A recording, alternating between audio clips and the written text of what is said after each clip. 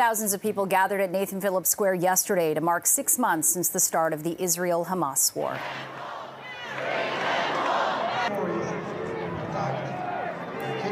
Demonstrators called for the release of hostages and an end to the conflict.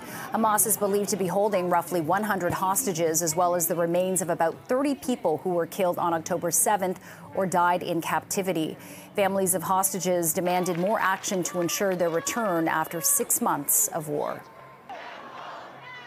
Very uplifting to know that the community, and not only the community, Iranian and other nationalities are here to support the cause of life.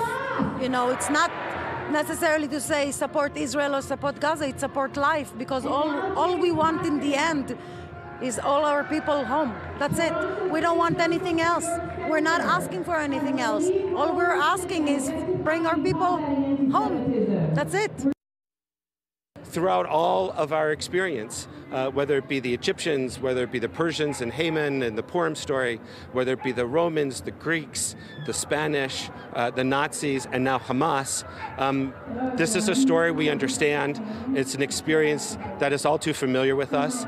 And as we've done throughout our history, we will continue to not only survive, but thrive. And so we're coming together now in support of Israel, in support of our values, in support of combating combating anti-Semitism and hate and in support of freeing the hostages is the most important message that comes out of today.